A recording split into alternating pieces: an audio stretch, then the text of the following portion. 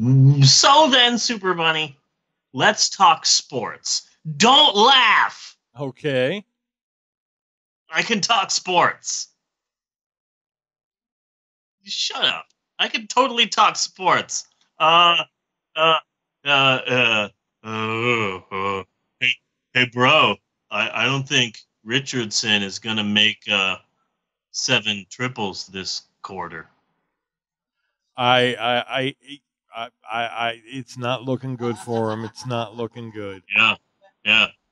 And he can talk sports too.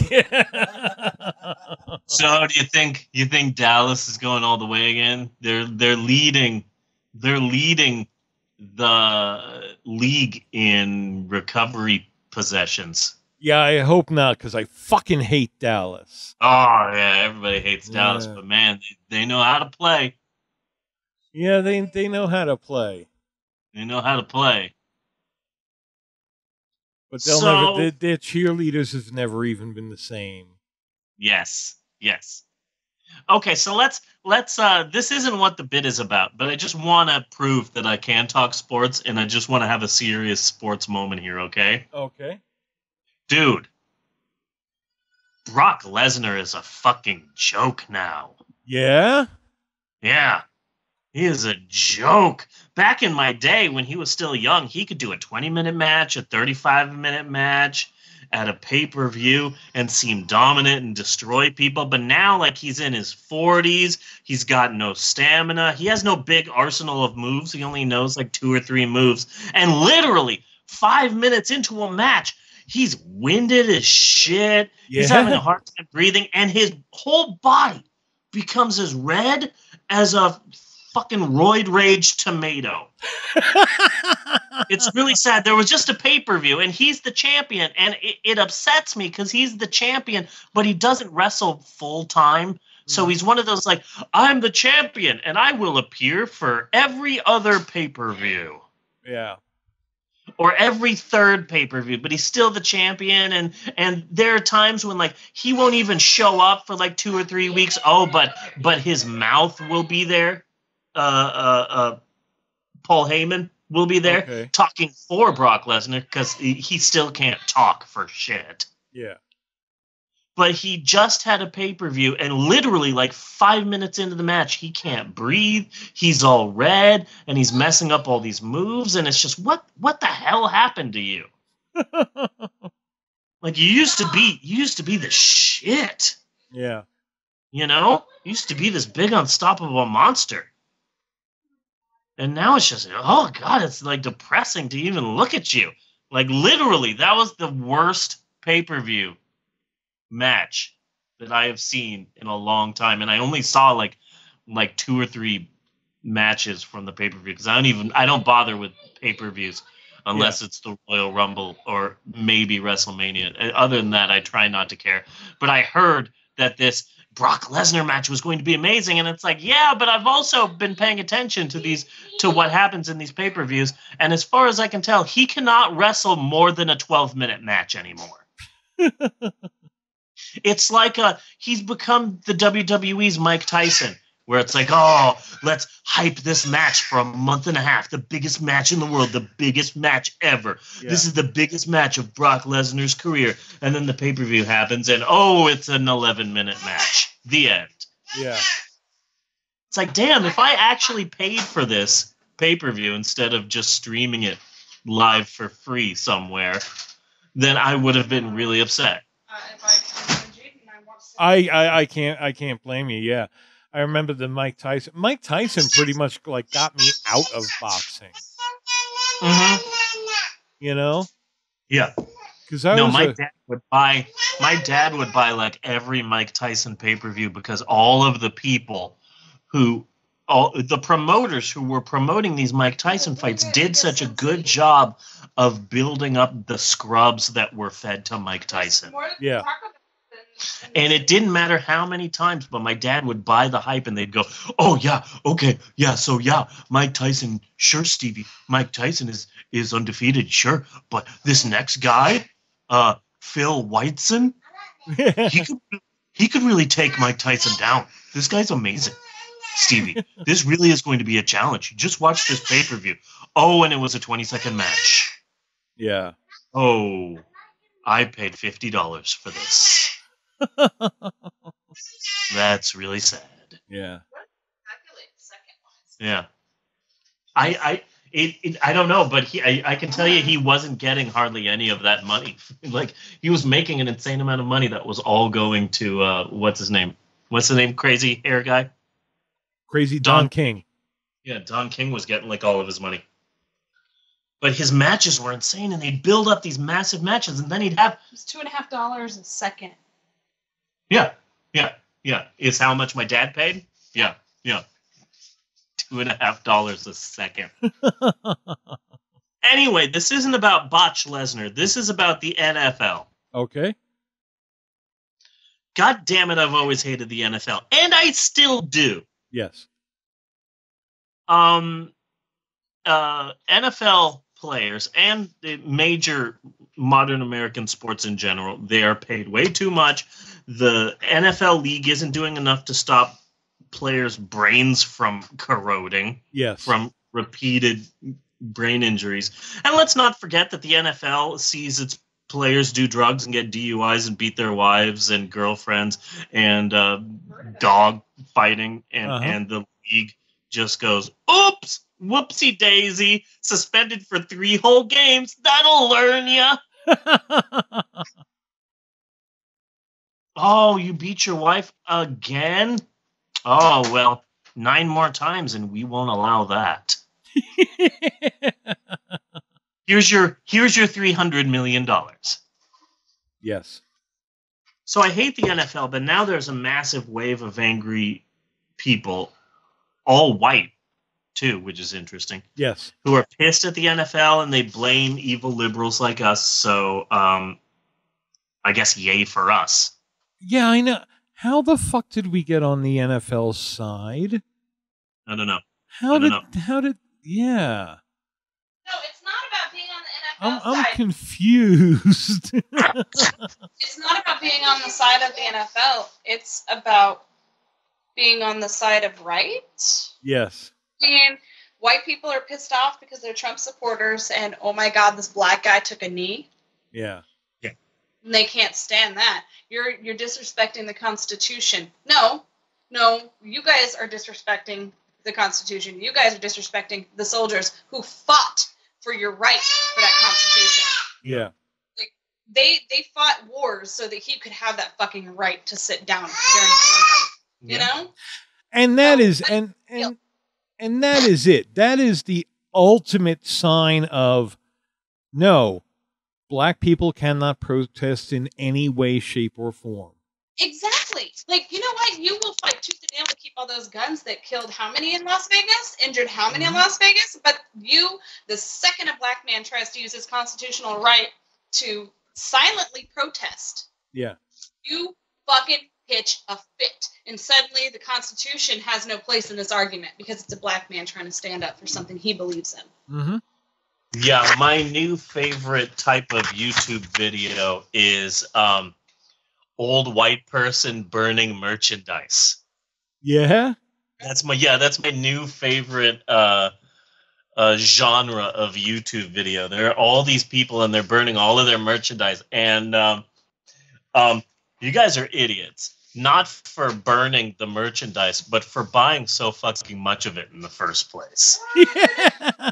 I mean, uh, literally, like I'm burning all of my merchandise, and then you see like a truck backing up. Beep, beep, beep. Okay, first things first. I'm burning my NFL uh, uh, jacket, my NFL hat, my 85 NFL shirts.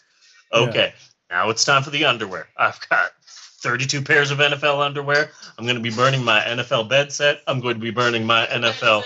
Okay, okay. This will be a this will be an 18 part video as I burn all of my NFL merchandise. It's going to take about three and a half weeks. yeah. Like, you're an idiot for buying so much anyway. And also, all of these NFL teams are just major corporations. You might as well just walk around. You just might as well just walk around with a shirt that says Kotex on it. Mhm. Eleanor, stop your screaming. Other people can Actually, have you might. things. Act, well, she's hungry. Yeah, I understand that, but I'm just trying to get her to stop screaming every You might five want to seconds. spots with him because I'm gonna put her here, and she was just gonna try to grab his. Okay. Okay, so I'm switching spots with Maxwell. Maxwell, sit over here.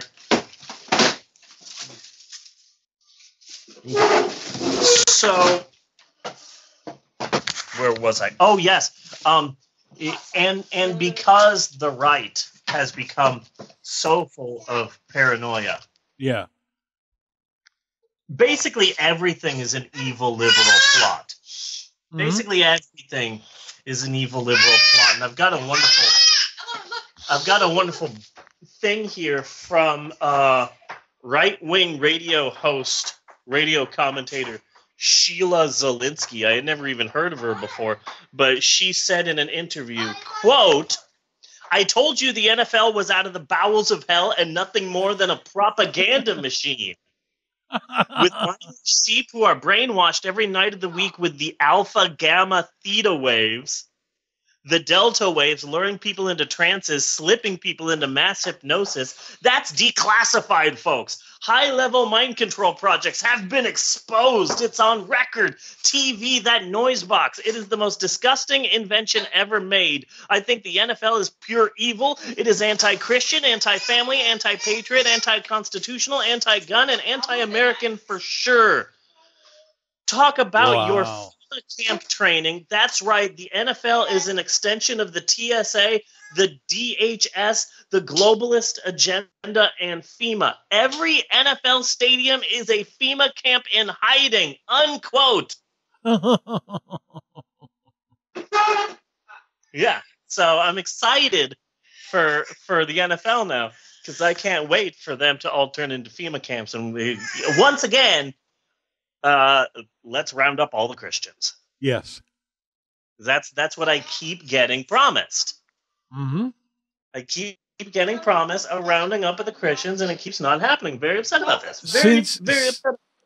Since at least since the fifties, Yeah. because Yeah. we've watched the films. Yes. We have, and, and it's just upset. It's upsetting that it's not happening. I'm very upset about that. But I'm uh, I'm more upset that another rapture has come and gone, and these assholes are still around. still here, still here. You know what would be funny? You know what would be funny is I just came up with this. What if the rapture has happened a number of times? It's just that all of the Christians suck now. yeah. What if the rapture did happen and, and God is up in heaven going, Now it is time for all of the good Christians to rise. Rise, my children. Rise. How come no one's rising? Why is no one? Oh my God! All of you guys suck now. Okay, we're gonna have another rapture in in eight months. Christians, get your shit together. and then literally, the rapture has happened like thirty-five different times, and God's just there going, again. Come on, guys. All you have to do is ask for forgiveness. That's all you have to do. All you You have, don't even have to give that homeless Yeah. man money if you don't want to. yeah. Just quit killing hookers. All you have to do is be nice to people. Well, we are being nice to people, but gays aren't people, right? And God's like, ah, Jesus. Ah, my son, you guys are pissing me off. yeah. So, but anyway, uh, screw Donald Trump. Because he got these protests and turned them into being about the flag. Oh, oh, this person took a knee because he hates the flag, everybody. Mhm. Like, what the hell? This isn't about the flag. It's about the fact that as a minority, you could just be shot and killed for no reason right now. Yeah. Like, right now, I could be shot and killed. It could be by a cop. It could be by, you know, an old white person. It could be by a gun lover. It can be by someone who disagrees with me. It could even be by someone who just doesn't like the color of my skin. And here's the kicker the world we live in right now, whoever shot me, whether it's a cop or a, or a, or a regular person, um, that person would get away with it. Mhm. Like it doesn't matter if, if I look scary or if I have a weapon. None of that matters. I could literally just be driving and be shot and killed now. Yeah. Saying is now is my time to shine. Wow, honey. Dang. Natasha I- just threatened my life again. Did not. Can't be proven. I really can't can't think of what could happen in my life that would justify me calling a cop. Yeah. I, I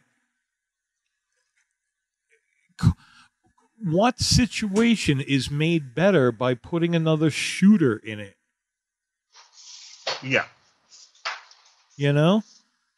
And who was that guy on your meme? He was so much fun. That's it's confusing because that's a friend of mine from high school and we were best friends and we hung out all the time and i Yeah. I thought he was a minority. Okay.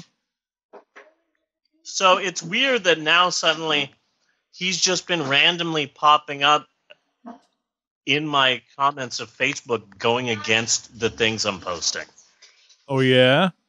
Yeah, it's a bit confusing. Yeah, That was Jono. that was so much fun. Yeah, it was. I was just watching it unfold. Like literally, we're all just sitting here in the living room, and I'm going, "There's a fight happening on my Facebook page right now." No, there wasn't. That's what was beautiful. He thought Yeah. it was a fight. I was helping him. Yeah, That's exactly how I saw it. And that's that in the end is like what really pissed him off is that I never once challenged his point. I Yes. never once said he was wrong. Yeah. I, I didn't say anything like that. I, I, I was I was I put him in a high school English class. Is Yeah, and all I I, was just- did. yeah. And I was just watching it all unfold, and then finally, um, Jono got upset and goes, "Hey, hey, hey, buddy, hey, bunny, are you high or something?" And that's when I chimed in. I'm like, "He probably is, but that shouldn't take away from his point." Okay, continue. and then John. Oh, and then, but then you just and then you Jono's like, "Oh, but you see my point, right, Steve? You see my point?" And, I, and that's when I got to use my favorite Pulp Fiction. yes, I loved it. My name's Paul, and this shit's between y'all. You guys just have fun with this, and I'll be over here in the corner watching.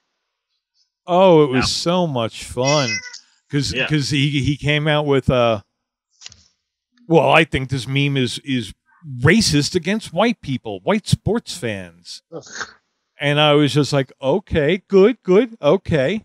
Now, justify in your meme, in the meme, why you've taken that position. Yeah, yeah, and that's what was pissing him off. yeah, yeah, yeah. You were just trying to get him to show his work. exactly. He was upset about that. But see, now uh, we've uh, we're we're we, we are so in the upside down right now that Yeah. rednecks are leaving the NFL and many liberals are defending it. So can't you see it, Bunny? Can't you see the world where all of the hipsters and liberals and millennials are now packing the NFL stadiums every Sunday? I, I refuse. I refuse. Can't you see that where where suddenly like like like tailgating an NFL game is there are all these people in the parking lot of the stadium eating like focaccia bread yeah. and and foie gras and uh, pretentious tailgating. oh hey Bring a hibachi. Yes. hey I'm ma- hey you want to come over here we're grilling we're grilling some Salmon. locally sourced soy burgers and then the game happens but there's no cheering because everybody's just taking selfies yeah. and posting on Instagram instead of watching the actual game. Until finally Well- you get to the, until finally you get to the middle and it's just it's halftime and now, ladies and gentlemen, Mumford and Sons, and then finally, yeah, yeah. I, I don't know. For the game itself, I was kind of picturing more like, well, I really like the Jets, but I don't think it's r- right to shame the Bengals. Nice. Yeah. You know, Yeah. they're trying. Oh, hey, our team won. Whoa, watch out there. You you shouldn't claim a team like that. All teams are everyone's teams. we really we really shouldn't take sides here. Sports are, are about hard work and and um, you know being a part of a team. It's not about who wins and who loses. That's just unfair to people. That's right. But then the right. rednecks, but then the rednecks are upset that they lost sports, so they start invading things that the left likes. So suddenly you go into like record stores and it's filled with all these drunk, angry rednecks. Yeah. You go into like a comic book store and it's all like white trash comics. You got that there, uh, Superman. Oh, you mean the new Superman, where where he's uh, not a alien, he's an American who was bitten by a radioactive super guy. And then here's here's the thing that I can really see happening: yeah. uh, rednecks fall in love with Dungeons and Dragons. rednecks embrace Dungeons and Dragons to get at the liberals who have taken over NFL. So suddenly, y- y- you walk inside, you find yourself in an empty field. your right is a mountain. If you look closely, you can see a cave on the side of the mountain. What do you do? I fire my guns in the air. You do not have any guns. Okay, well, I create some. All right, well, that will take a roll of 12 or higher. yeah. You rolled a 14. Great, I shoot my guns in the air. You'll have to wait for your next turn, Clem. If we- That's what I'm hoping to see. Yeah. If we have to take possession of the NFL, you know, I- I'm not particularly happy with it, but there are some things that we could do. You know, streamers on the helmets would be kind of nice, you know? Oh. Those light up things like tennis, like kids have on their tennis shoes, you know, and they walk and they light up. Yeah. Oh, that would be awesome. That would be, especially for Here's night games. idea. but but I Yeah. refuse. I refuse to ever take possession of NASCAR. Yes. Yes. What's the deal with that? Cars going around in circles Yeah. for three hours. What? But here's an idea I had for the NFL. If liberals are going to take over the NFL, then I think we need to stop these concussions. That's why everyone, all of the football players are in hamster balls. I like I like that. Are those like Zoom balls? You know what I'm talking about? Those like ones that blow up. What are they called? Those blow up balls, and then you're rolling in them. One of Yeah. those. I, I know yeah, what you're every talking about. football player has one. Hmm. That's how we we are going to solve the concussion problem. What if we put them in really, really big foam helmets? You know, Hmm. like the ones that they use to to train attack dogs. Yeah. Yeah. I could see. No, we put them in one of those big, huge suits, like a like a yeah, like an attack dog training. All of them have those big, huge, massive suits, and Yeah. so the way I picture it is, if everyone has one of those suits, then all of these big, huge, buff, muscular men are suddenly running around the field like toddlers. You know, they're waddling and they can't put their arms down. and they fall over a lot. Yeah, like babies, like little babies. What about those blow up uh, samurai suits? Yeah, Blow up samurai suits. Yeah. Yeah. I'd watch that. yeah. We have already we have already fixed football. yes. It's amazing. We've barely thought about it, and already. we have fixed football. It's amazing. We're we're geniuses, basically. Well, I'm kind of sorry that the the XFL failed. Oh, the 'Cause I- XFL. I was looking forward to that shit. Yeah, the XFL. Yeah. Apparently, the XFL was just created so that Stone Cold Steve Austin could wear obscure shirts in his 40s and 50s. Because every once in a while, you'll still see like a like Stone Cold Steve Austin like doing an interview on TV or something, and he's wearing like a Don't wipe it on anything. Don't wipe it on Toledo Iron Horses shirt or whatever the fuck the the XFL teams are. You know, it's hilarious.